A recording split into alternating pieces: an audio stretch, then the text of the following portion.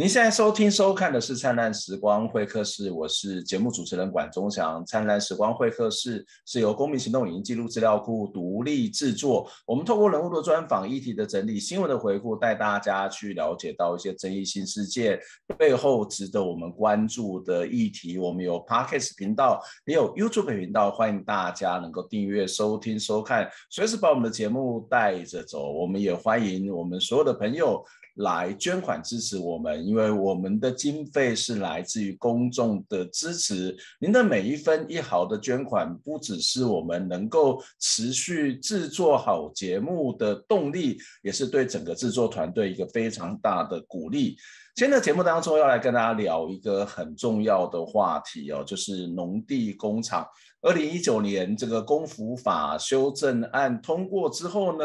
呃，政府似乎信誓旦旦的要去解决农地工厂造成的问题，可是，在实际上面效益却是非常非常的有限。地球公民基金会在中秋节的时候，曾经做了一系列的梗图，里头提到了，好像这个月亮的脸变，呃，偷偷的在改变，然后呢，农地的工厂也在偷偷的在新建。看到这个梗图，让人家觉得有点惊讶。不是要去解决农地工厂的问题吗？为什么么这个农地工厂又在新建呢？虽然农地工厂似乎带来了一些社会的污染、环境的污染，但是它同时也是很多在地的中小企业、在地的民众他生活的重要的。经济的来源是它非常重要的一个社会的支持跟连结哦。那从另外一个角度来看，如果农地工厂因此消失了，那对于台湾的这个中小企业的发展，会不会也是另外造成的一些影响呢？今天在节目当中跟大家邀请到的是地球公民基金会的专业员蔡家生来跟我们谈这个话题。家生你好，钟祥老师好，各位听众大家好。呃，我我们在这个中秋节之前呢，其实，在地宫的脸书上面有看到做你们做了一个梗图哦。那这梗图其实是跟农地工厂有关，那里头用了这个嗯月饼做一个例子哦。梗图上面是说，目前经济部作为全台的这种违章的农地工厂的统计，大概有四万五千家，而有向政府申请这个临时合法登记的呢，不到七千家。在这个梗图里面，你也提到说。说说好要检举，就会拆除。你给了一个很大的问号。那我想要问的一个问题就是，看起来农地的违章工厂很多，然后实地的登记的是有限，那实际要检举之后被拆除的似乎好像也更少。我想要请教呃，嘉生，就是到目前为止。这些所谓的违章的农地工厂拆除了多少家？就是经过等检举举报的，拆除了多少家？然后你们为什么要在中秋节前夕去做了这个梗图呢？直接先回答至今拆多少家这件事情。经济部公布的资料，呃，被拆的违章工厂是五家，那就是一个个位数的数字，就是非常非常的少。但为什么会这么少？其实有非常多原因。那要怎么样解读这个数字？就是。我们放这个梗图，其实最主要是要说，呃，有很多违章工厂，而经济部真的做最极端的行政处理的只有这五家，那中间的那些跑去哪里了？这是我们希望呃唤起大众去重视的。对，但我们也没有要说这七千多家，呃呃，这四万五千家扣掉七千多家，现在全部都要拆除，这个是要先理清。那嗯，我刚刚讲为什么我特别讲这是工厂才算，其实拆的数量，呃，各县市拆除的违章建筑，或者说农地上的大型违章建筑的数量，其实远大于五间，呃，应该是有，就我们自己检举的是有到十家，啊，这样也不是太多，但是呃，他们自己看到，呃，今天各县市政府公布的数字其实是有超是有数十家的，那。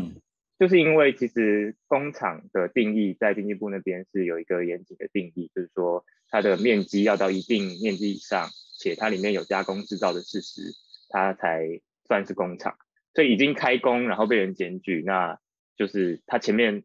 都没有被查到，这种它拆它拆除才算是经济部看到的拆除。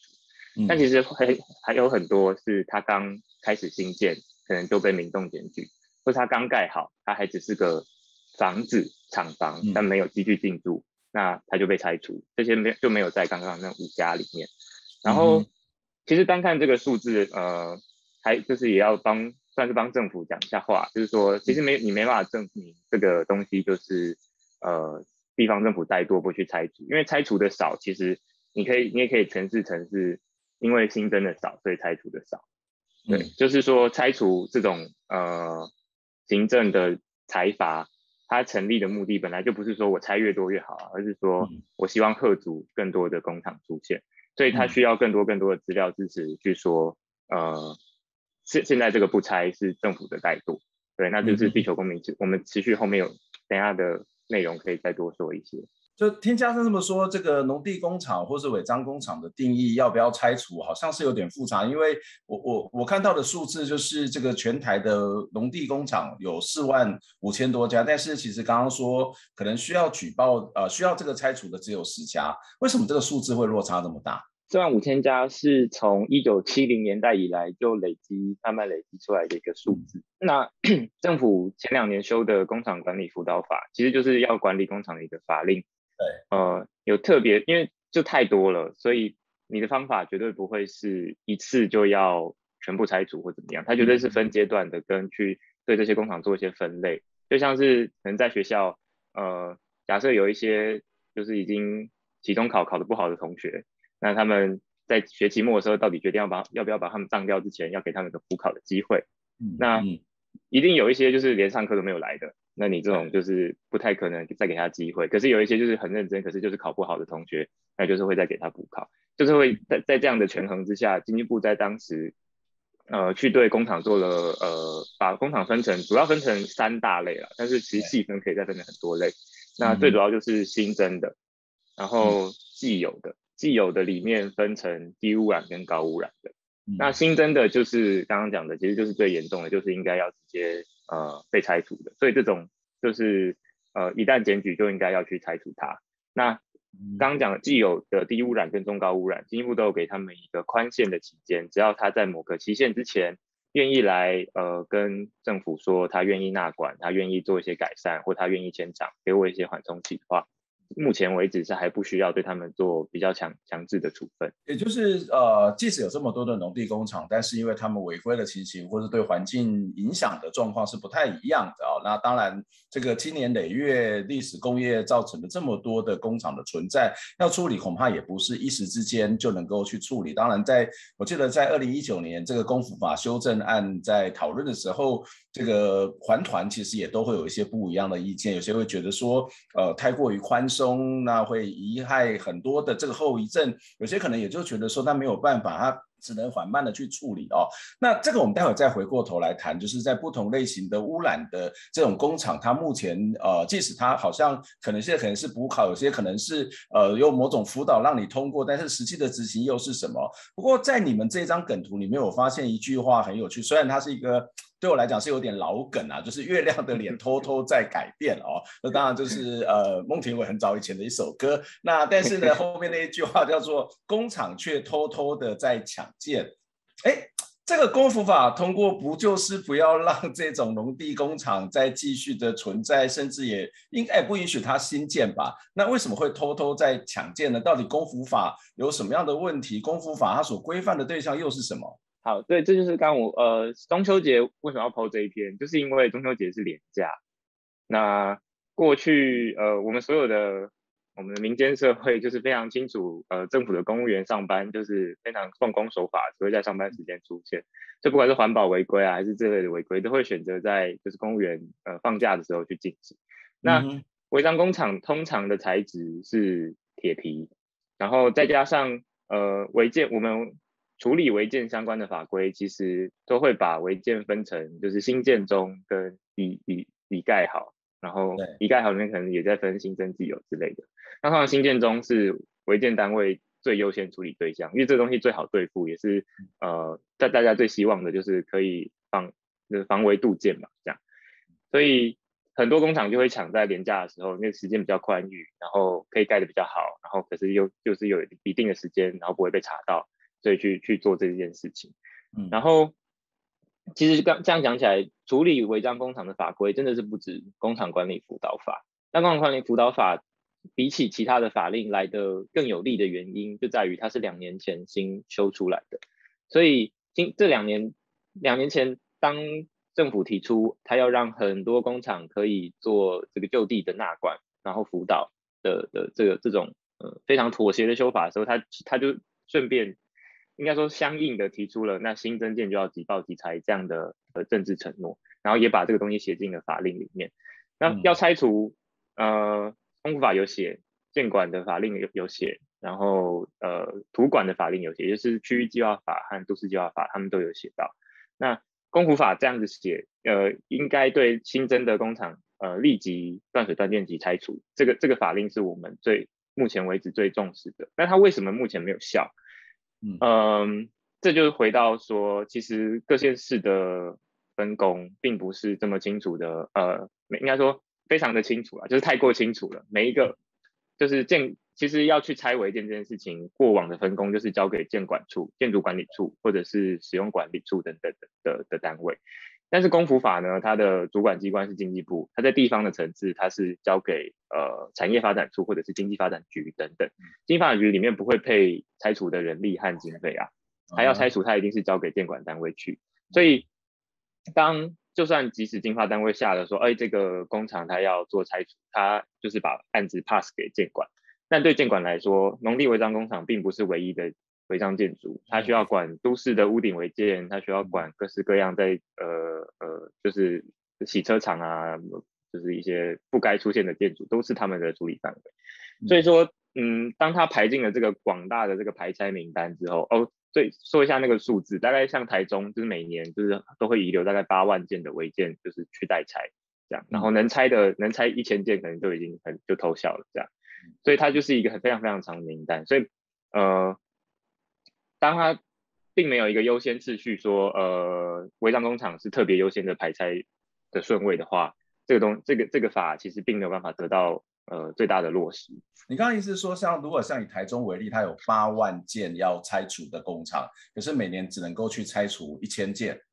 哦，八万件是所有它的违建的数量。是它的违建，嗯哼。对，然后它的工厂新增的数量可能呃大概也是有几十间这样。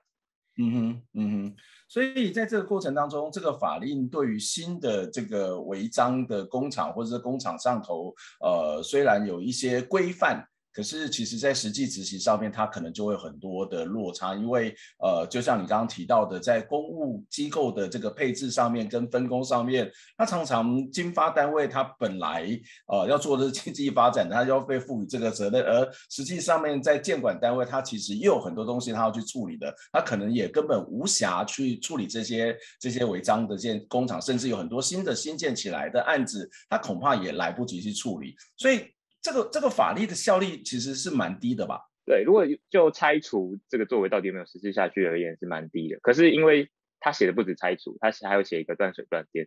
断水断电就是一个经济部门呃主管的事务嘛，台电是属于经济部的，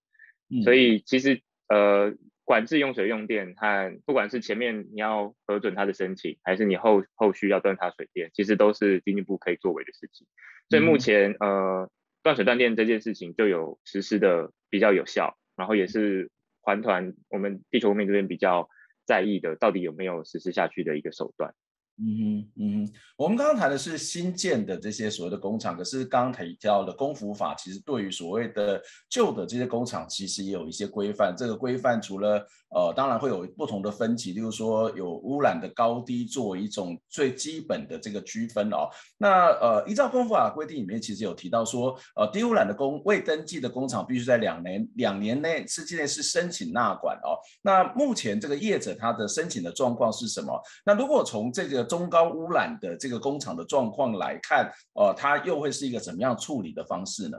两年大概是在明年的三月二十，就是这个期限将要到期。然后，呃，刚刚讲到既有的低屋和中高屋，呃，我我我们通常都会直接缩写啊。大家如果有听不懂的地方，可以再提醒我一下。然后，呃，新增的就是另外一块，四点五万家里面，其实其实大部分就是就是低屋跟中高屋。那大概的分配上面，就是呃，有七千家是已经确定是呃低呃呃啊，这非常的复杂，因为这这不是第一次修公服法，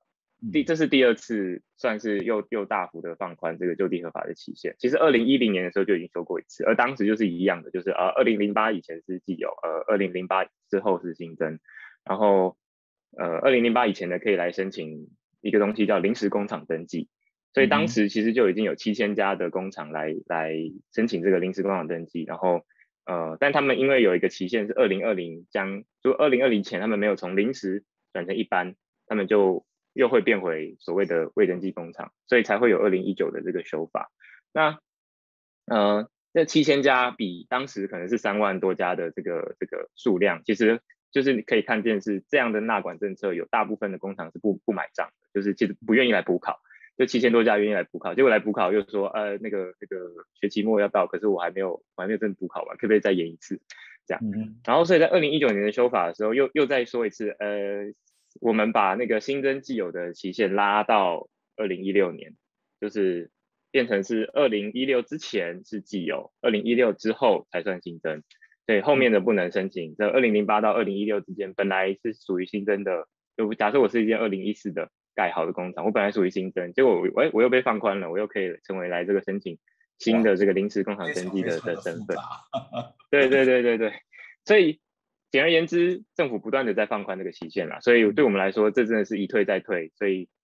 呃，很多可以就地合法，本来本来不能就地合法的的的对象，到后来都可以再就地合法。那目前这个申请的状况，呃，刚刚讲的那七千多家已经第一次有有来补考过的同学，呃，在九成九都已经再来申请了特登，就是他们就是继续呃，这个新的新的身份叫做特定工厂登记，也就是新零登啦。对，那他们都都准备要进行，就是更多的就地改善的作业。那里面，呃，低屋跟中高屋的比例，嗯，大概是七千比三百这样。那可以可以先这这就搁置。好，那剩下的其实大概就是三万五千，哎，四点五万减这七千多家，可能还有三万八千多家的的的这个未登记工厂。那这微电镜这些里面又分，这低屋跟中高屋的比例也差不多，大概就是呃一千五百家是中高屋，剩下的是低屋，所以大概有就三万三点五万家都是低屋。嗯，那但这三点五万家里面来申请的呢，只有两千家左右，就比上次的那个七千家还要再少。嗯，然后中高屋的部分只有五百家左右来申请，大概三分之一，所以大概还有一千家左右的中高屋，呃是没有来申请的。对，那。呃，目前这样的进度对我们来说是非常，就是我们就觉得又要再一次破功，因为其实政府设计这套机制，其实是希望说，呃，有更多的工厂可以来纳管，然后，嗯，创造出一个氛围，是你不来纳管反而是非非常态，因为现在变成台湾的工厂就是，呃，属于就是未登记工厂的，反而是一种。就是好像没什么没什么关系的事情。如果说假设你把合法的变成大变成多数，而非法变成少数，这个事情才能得到解决。但现在的问题就变成是啊，已经开放这个新的一一道门了，可是还是有很多的工厂不愿意来给给政府管理。那进一步接下来会做什么？就是我们好奇，他会再次延长期限吗？还是他会雷厉风行的对这些不来纳管的工厂、不来补考的，真的就是退学处分？这是我们现在在在看的。所以明年的三月就会见真章，对，就是现在还剩半年的时间，六个月的时间，到底这他还剩三万多家要要来要看他要不要来纳管。嗯嗯，不过不过这个因为依照过去的潜力，这些会不断的开一些小门，或者是反正我也没有办法真正的有效力的去执行。我如果是业者，我当然会站在一个观望的这个心态。那即使不是一个观望的心态，观望都还是一个消极的。我相信在背后可能会有庞大的利益，在立法的过程，在修法的过程当中，也许会有一些压力的存在。如果从这样子来看。政府在处理这个农地工厂，会不会其实是一个呃永远不可能去解决的问题呢？确实，因为从历史来看，照向来看，这已经这真的不是第二次放宽。其实更早，一九七零年代、八零年代都有开放为人地工厂来跟政府登记的事情出现，只是因为当时的，甚至连我们连区域计划法，就是土管理土地的法令都还没有通过。所以当时呃来登记的，后来都在农地上就取得了一个呃地目，叫做丁种建筑用地啦，就是就是农地农业分区里面还可以做工业使用的。所以这真的是一个呃，算是太过懦弱嘛？就是因为一直以不断的拖延这个问题，而导致现在台湾就是还是必须一直呃，未来可能产业上就是必须面对这个农工竞争，然后有更多更多的产业劣币驱逐良币的情况，所以。它真的非常非常难解决，除非政府拿出就是实就是实际的决心，然后这决心好像是精神论哦，但就是它要有实际足够完整的配套措施，它要有这些工厂到底可以去哪里，然后有足够给他们的资源，但你一个资源也不能太太超过，太超过的话就会觉得合法又觉得自己是笨蛋，然后不来纳管的你也要做相应的的惩罚，也就是萝卜跟棍子要拿出来，这些这个问题才真可以真的得到解决。嗯，所以这个当然，农地工厂是整个的发展跟台湾的整个经济发展、社会发展非常大的关系。它可能也是一个历史工业，甚至在过去因为法规的这个，因为经济的需求，也不在意这些污染，或者是在过去连基本的法规都没有。但是它除了是一个历史的工业之外，我觉得一个更大的一个必须要去关注，它事实上也是对于这个执政者啊，不管谁要来执政这件事情，都是一个非常重大的这种所谓的检视。是它的魄力跟能力的一个呃一个非常重要的指标。那到底我们的政府有没有能力跟魄力来解决这个问题？这其实也是所有的人都在关注、都要看的一个现象。我们先休息一下，待一会我们再回过头来。我们刚刚谈的是比较多的在整个政策法规以及现在执行面哦。可是农地工厂到底对这个社会会造成什么样的问题？我们先休息一下，再回过来讨论。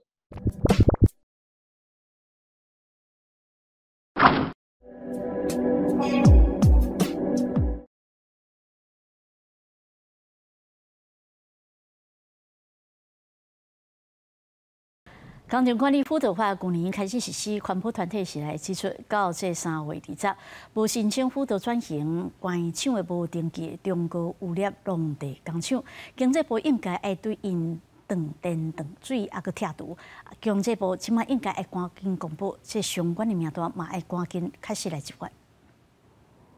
农地顶头生出一间一间违章工厂，数量到底有偌济呢？经济部清查了后，指出全台湾有四万五千间，其中一千一百五十三间是中国污染的工厂。地球公民基金会指出，依法中国污染的工厂，若无伫今年三月控进前提出申请辅导转型或者是关厂，经济部就应该对因断水断电甲拆除。或没有来申请的意思，就是他不想要走政府合法化这个程序。政府应该要做出一个差别待遇，有来申请的乖宝宝，还没有来申请的这些坏的厂商，不会再让守法的人变成傻子，然后违法人还是在逍遥法外。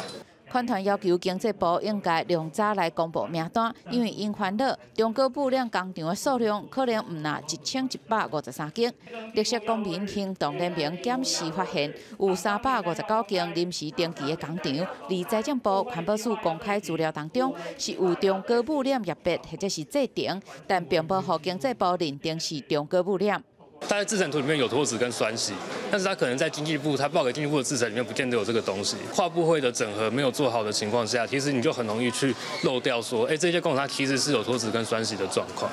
地球公民基金会嘛指出，违章工厂就地合法于一九七四年冒一波，包括电镀业、染整业等五十一个中国污染的行业，总共六千四百二十六间，但其中有三十八趴后来因为空污水、不丁污染红财发，总金额达到三十二点七亿。那这波就地合法嘛，包括中国污染的工厂，正派保证严重污染的事件未搁再发生。记者林五家报台报道。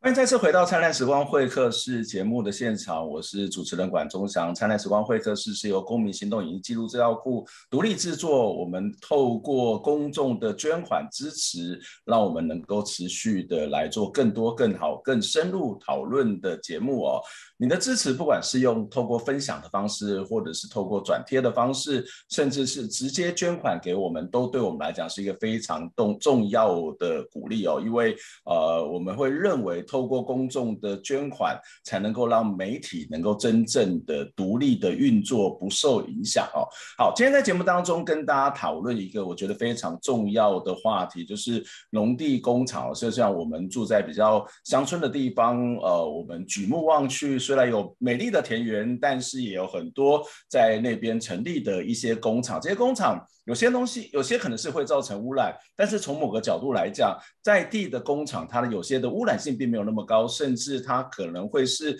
地方非常重要的营生的一个工作的场合哦。所以农地工厂该怎么解决？刚刚在前一段的节目当中提到了政府的一些政策跟法规，似乎它的解决的有效性是非常非常的有限的哦。我们接下来也要来继续的跟大家谈农地工厂的问题。今天在节目当中跟大家邀请。到的是地球公民基金会的专员蔡嘉生，嘉生你好，汪强老师好，各位观众大家好。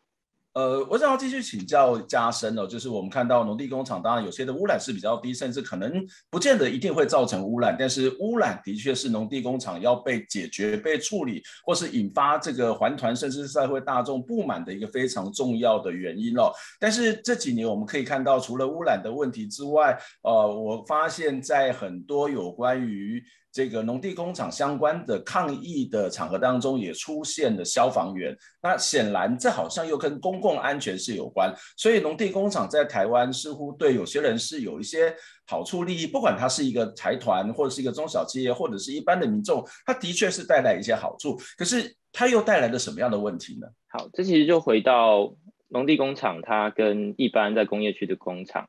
呃，或者说任何合法成立的工厂有什么样的差异的问题。一般它呃工厂要成立，其实它就要经过所有建筑、消防等等呃环保相关的法规去对它做规范。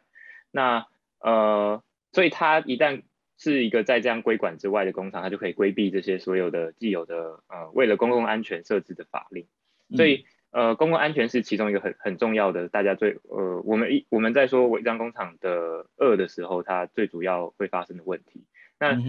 第一个当然可以想见的就是污染的问题嘛。它如果说它是有做金属加工或者是皮革染整之类的，它有大量的水用水，那里面会有很多的化学药剂。如果它没有好好的处理或者交给呃在在嗯在回收的厂商，它其实就有可能排进旁边的农田里面。假设它是在工业区它乱排，可能就就还还还会被罚款或怎么样。可是它在农田上面，农田这边的排放非常非常难以去呃规范。那再来。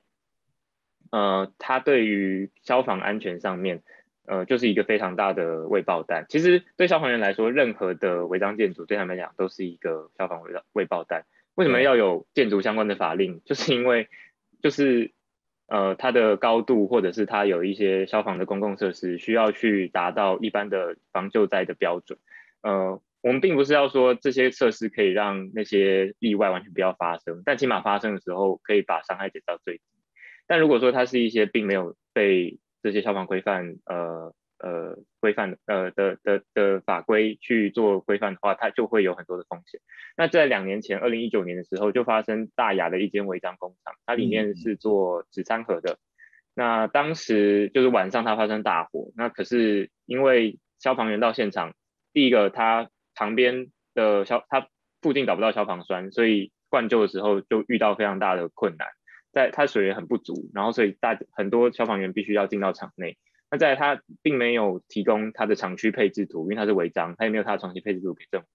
所以消防员有点是不太知道里面是什么样的情况下就进到厂厂区内救火。那最后就造成了两名消防员在里面遇到闪燃，然后铁皮塌陷，然后就殉职在里面的的遗憾。对，其实。铁皮本身也不是一个安全的建材。假设是一个一般的工厂，它它要有一定的耐耐热跟耐火的程度，它它才可以保证这这个呃就是救灾时的安全。所以说，就是有这么多重的事情，让消防员就是有加入我们的倡议，一起去针对这种大型的，而且工业工业用的这些厂房，它可能也会储放一些比较危险的化学物质。嗯，所以它如果一旦不被规管，对他们来讲真的是一个特别特别危险的危害。所以他才加入我们一起跟我们做呃违章工厂处理的倡议。嗯，所以呃，这个在农田里的未爆弹，或者是这些可能被认为是不定时炸弹，它所受到伤害的，其实不只是消防员本身嘛，在附近的居居民、附近的住家，可能也会受到同样的危险，不是吗？对，如果它本来就都是农用的话，其实就不会有这些问题发生。那它现在因为有一间工厂，它就出现了燃烧的风险，然后它打完火之后的废水，或者是它的浓烟等等，其实。就是就是一定会影响到附近的农作物和附近的住家，甚至也曾经发生过，就是某一间工厂就是火灾之后，这呃县政府要补助附近的的民众到旅馆去居住的这种情况发生。嗯，这也是补助要用纳税人的钱来去解决这些问题。对对对，就是。本末倒置，对，这这这的确是一个呃，虽然看起来对很多地在地的营生是有一些帮助，但是其实它所造成的污染，或者是刚刚谈到的公共危险的问题，甚至呃这些污染的这些作物，呃如果没有好好的处理，或者是当时一个闪失，也许它有可能会回到我们的日常的饮食当中。假设真的发生这些事情的话，那其实是得不偿失哦。那在我们在上一段节目当中也谈到了，在目前的这种所谓的公服法或者其他相关法规里面，要去做农地工厂的规范，不止不仅是这个拆除是出了很大的问题，甚至人家要登记不登记都可能存在的某种观望的心态。不过在今年五月的时候，经济部又做了一个预告哦，这个预告是一个草案的预告，这有点长哦。它的草案叫做呃一这个特定工厂申请变更。呃，申请变更编定为特定目的事业用地审查办法草案，非常长的一个名字哦。那这里面有提到说，农地工厂呢，只要取得特定工厂的登记，业者可以透过设置太阳能板、光电板哦，或是画设隔离的绿带，并缴回回馈金变更地目，便能让这个。我这个所谓的低污染的农地工厂就地合法，哎，我们在上一段里面提到说，有可能会让这样的一个又有一个新的法规，或是在开了一个小门，这是不是就是一个小门啊？那这个法案到底是一个这个草案到底是一个什么样的草案？那如果我按照这样的一个逻辑，是不是永远都没有办法去解决农地工厂的问题呢？不管你是要让它呃登记合法的登记登记纳管，或者是你要把它拆除，看起来都会有更大的困难，不是吗？对，其实这一个执法呢，它是它是执法层级的的一个法案吧，然后所以它是在公服法两年前通过之后，呃，一个大的架构画出来之后，其中一个呃应该要规划出来的执法。简而言之，其实呃一个违章工厂，呃违章违章工厂问题要处理，大家可以想象三个走法，一个就是说拆除，一个是他迁厂，他不要在这里，他找到新的地方离开。另外一个就是他就地去处理他的呃刚刚讲的公共性的问题之后，他可以就地合法。那这个执法它其实就是呃如果要走到就地合法这一块的话，他应该要做完哪些事情的一个的的的规范。那呃前面讲到他要设置太阳能光电板，他要设置隔离绿带，他要缴纳回馈金等等，这些其实都是他要合法的话，他要就地合法的话。必须要做的事情，它不是一个可以这样，应该就是他可以就做这件事情就就地合法，这是没有错的。但是他一定要做这件事情，他才可以就地合法，也可以这么说。所以，呃，对业者来说，这全部都是一个附加上的负担嘛。我们刚刚讲到，有非常多的业者他不愿意来做纳管这件事情，原因就在于他觉得，我如果要来被政府纳管，我就突然要缴这些所有的回馈金，我要去买污染防治设设备，我要装消防的。那种呃紧急出口啊，自动洒水器啊，然后我附近啊，对，这就是他大概他要付的成本。对政府来说，其实他要变更这个地目，其实因因为他为什么要为什么要他付这些钱？第一个，他要他他要管理他的公共危险的问题吧。再是说，他其实要让政府去对他做一些规划，因为像消防栓这样的东西，就不是一个一间违章工厂的规模，它要替自己去设置，它是一个公共的投资。我们在设置消防栓的时候，本来就会注意，哎，这个地方是多少人的街区，是我们多少每多少公尺要设一个。这是包括它是一个能不能抽足，都是必须要考量的。对对对啊！可是这间工厂它就是在一个农地的中央，这个地方本来不太需要做一个这样的的设计的，可是却因为你在这里，而我要去帮你做这个这个设施，所以它本来就应该要缴纳一些回馈金。对，所以说这个东西有点见仁见智，说呃，当你觉得。呃去拆除和他签厂，已经是一个微乎其微、非常渺茫的机会的时候，就地合法变成一个唯一的可能的时候，那你本来就应该对他做出一些规管。那你不能说完全无条件的让他就地合法，所以他本来就要设置非常多的门槛去让他做这些事情。所以这个法案对我们对于长期关注公服法的人而言，它是一个必要的东西。可是我们会关注的点是在于说，到底这个就地合法是一个永久的就地合法，还是呃我们要让国土秩序慢慢回归正常？其实是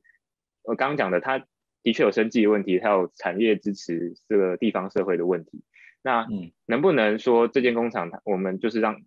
这个经营者经营到他经营不下去为止，就是他无法再转手，他无法无法让这个厂房再变成其他的使用，而是他就是慢慢的呃，等到他如果它能永续发展，当然很好。但如果它真的倒闭了，这块用地能不能回归成农牧用地，或者是说它这这个地方就要回归成农业使用的加工室等等，不不一定要完全回归种植，但起码要回归农业使用这样的的的要求，这是我们在看这个经济部草案的时候。最关心的问题，因为我们真的也也体认到，现在你要这间工厂，呃，这些中小型的工厂去工业区找到地去建厂，或者是，那我们也不不会觉得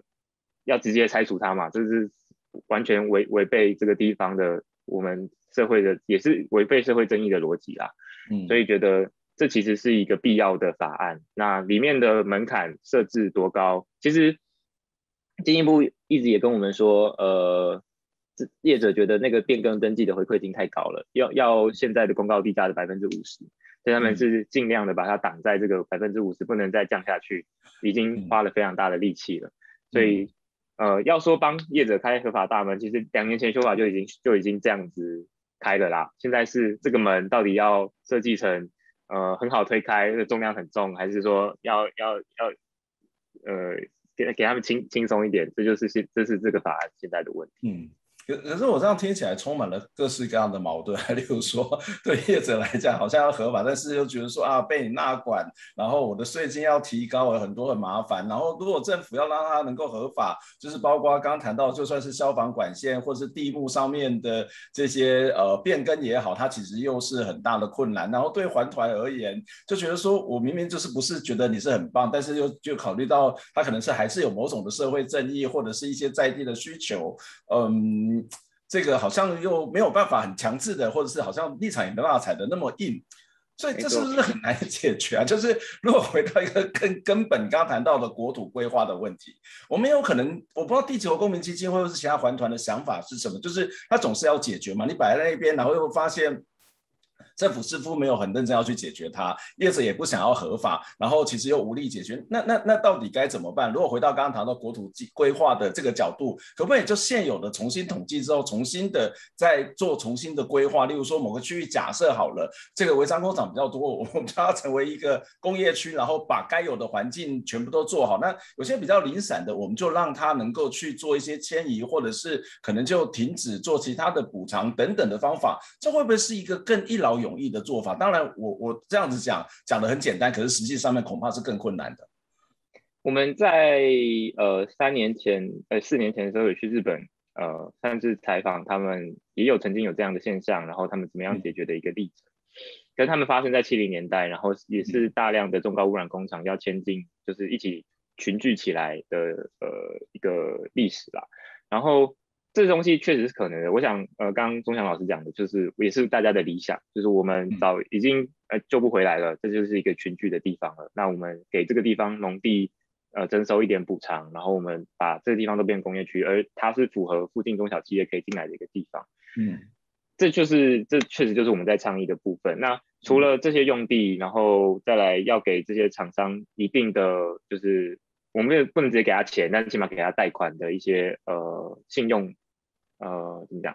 信用的背书，就是政府可以用中央信保基金等等去对他们做一些贷款的的优惠，然后他们只要愿意就可以群聚起来去去做。现在政府的做法大致上像彰化有有类似在做水务金专区，类似这样的逻辑。嗯，但是有点是那个政府的角色到底要到多介入或多强制？我是提供一个呃这些机会给你，看你要不要做呢？还是我积极的去就是帮？把厂商串起来，然后去说你们这些厂商这些这区就应该要一起群聚起来，这其实就是有一个程度的差异。那对我们来说，我们单位希望政府多做一些，因为这个问题存在那么久，已经变成社会风气上面，就是啊，我留在原地，我在这边开心的都不会有有什么问题，所以会希望政府应该还是要有些强制的手段下去。在刚刚讲的那个立场上的矛盾，这真的是我们本来并没有要这么对低污染的 的的工厂去做这么多的主张，可这些这些法案就是这样出来，然后它就是有业者持续的在游说，要对他们做更多的放宽，那我们就是要尽量去先去踩这个刹车。那我们最最最最在意的，真的就是那起码现在不要再新增了吧，这些既有的问题就让它就是这四地方五万家就不要再成长了，就是就是我们就处理这些所谓的历史工业，我们不要再。再制造性的历史工业，讲历史工业常常会把整个整团迷糊，就是整团违章工厂就是打包在一起，一起一起去讨论。但其实就是可真的是要分成分分分类别去去看。嗯，对我我觉得真的是不是很容易要去处理的问题哦。其实我但是起码就是政府的态度要摆出来了，政府你到底应该要怎么走？因为整个政策方向是你要抓的嘛，那你要宽要严。应该要更清楚，然后你要有一个进程，要更清楚的去规划，而不是我觉得现在有很多是一个暧昧，然后看起来很严，但是实际上很宽松，那永远都是解决不了问题。那你又变成那个历史工业的一部分，那那个问题它就会永远的存在。我觉得这可能是一个呃，从国家的角度，你们本来就应该有个上位的思考来去处理这个问题哦。不过我们必须要承认，它是一个比较困难解决的方法。但是回到我们的日常生活好了，就是既然这个农地工厂里面这个功夫法里面有提到所谓的。检举的方式，而我们在一开始也提到，这个检举好像又效率又很低，或者是其实也不见得大家都知道怎么去检举这样的一个农地违章的这个问题，或者是有些污水排放的问题哦。地球公民基金会设计了一套检举的系统哦，这个呃可以告诉我们，如果我们是一般的民众，我们要怎么样去呃至少为自己的生活、为自己的生计来去降低这个污染的可能性呢？检举的法，呃，这次的公库法修法确实有把检举的奖励写进去了。因为其实政府自己知道，呃，地方政府并没有这么大的量能去随时随地监控农地上发生了什么事情，嗯，所以他要抓到新增的方式，真的就是只能守望相助，就是就是要知道，就是附近的居民要会会回报。那对民间团体来说，要创业要要监督这个执法也是，就是我们就刚刚讲的，哎，我们看到政府拆的五间，我们要怎么样诠释这个数据？我们要知我是是真的没有在新增吗？还是说有新增，但是地方没有在拆？所以我们自己去建这个系统的原因，就是我们想要收集各地真的有还有在新增的违章工厂这个现象。那对于民众而言，就是呃，只要你上网搜寻违章工厂检举，你其实应该就会看到我们设计的这个回报系统。嗯，这个回报系统是我们跟 G 零 V 的工程师呃和相关的呃专业者一起去建制的。那它就是一个地图的界面，可以想象它就是一个 Google Map，然后上面的地点资讯全部都是违章工厂，就你可以在上面新增新的点位，然后你可以补充它的照片，你也可以就是补充它的资讯。那最我们其实，在倡议的中间，就是这我们在做违章工厂倡议已经超过五年多了。那其实就非有非常非常多的民众会一直打电话进来，然后或者是写信来告诉我们说他附近有新增的工厂。那有些民众我们就就注意到，其实他非常在意隐私的问题，因为其实很有一些他可能就是已经尝试过跟跟县府检举，可是无效。那更甚者就是他可能还会被乡公所因为要勘查，就说哎你要不要来就是就是现场作证啊？心里还是会有些恐惧吧，嗯。对，他就他就去了，然后就遇到结果结果厂商一起在现场，然后他就 被泄露了身份等等的情况发生。所以我们在设计系统的时候有特别说，不需要留下联络资讯，然后我们这边会再去做查证和追踪的的的这些事情，请他可以提供更多，当然提供越多证据越好。然后这个东西，呃，如果地方刚讲不了了之这种事情，也可以透过集体的检举去做呃一点点施压，就是说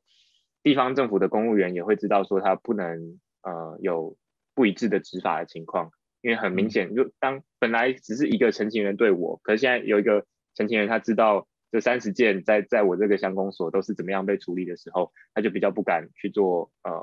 哦，或者说他比较在有人来关说的时候，就是有一点能力去抵挡回去。就我们希望还是支持公务员啦，但是我们觉得那个压力常不是来自他们自己，而是有有一些明代啊，然后有一些地方的势力去对他们做。呃，施压，所以我们希望弄这个系统是让地方政府知道有人在监督这整体的呃检举呃处理查处的状况，那到底有没有照公法写的实际的慢慢的呃有去罚呃前面有先罚款有断水断电，然后有没有到拆除？那拆除一直以来就是真的是大家最最好最最容易被公众可以直接看到效果的一个方式啦，或者说让厂商嗯，对对对，所以它在我们的整个整体的行销宣传上面还是最主要的东西。但其实我们最着眼的真的是断水断电有没有在进行，所以民众。现在也是要跟，如果真的有人看到这个影片，然后真的有呃去搜寻，然后去找去看到地方的违章工厂回报回来，真的也是那个期待要调整一下，先不要期待一定要可以到拆除，但起码我们可以让这个这个现象真的得到贺主，贺主是我们最希望得到的效果。那不管它的手段是什么，你不管你叫水断电，或是你做很多的说明会，你你做你让地方有一个风气。去让这个贺主的情况发生，对我们来讲，这个这个场景就成功了。所以说，回报系统这个东西，就是如果大家可以口耳相传，让让地方也让地方知道说，呃，就是有人在做检举哦，不要在这边再新增了。其实这这就已经开始有效了。嗯，对，嗯。我我想这是一个我们至少是我们现在是可以做的问题，就是在你的举目所见，在你的日常生活当中，如果你真的觉得这个工厂对你造成了很大的影响，不管是环境或是生活，这是我们随手可以做的事情。当然，我们更期待就是我们刚刚谈到的，我们都知道这是一个很难解决的问题，但是政府的态度跟你的实际的做法是要一致的哦。那该做的就做，你要告诉。不管是民众也好，或者是这些工厂的业者也好，他到底要怎么去走？然后你是玩真的，而不是看起来两边都在讨好，两边都在这种糊弄的这种状况。我觉得 对整个台湾的环境的发展或者产业的发展都不是一件好事。今天非常谢谢嘉生来接受我们访问，希望下次有机会再跟你请教相关的问题。我们节目就到这边结束，也欢迎大家透过订阅的方式或者捐款的方式来支持我们。谢谢嘉生，也谢谢各位观众，下回再见，拜拜。拜拜。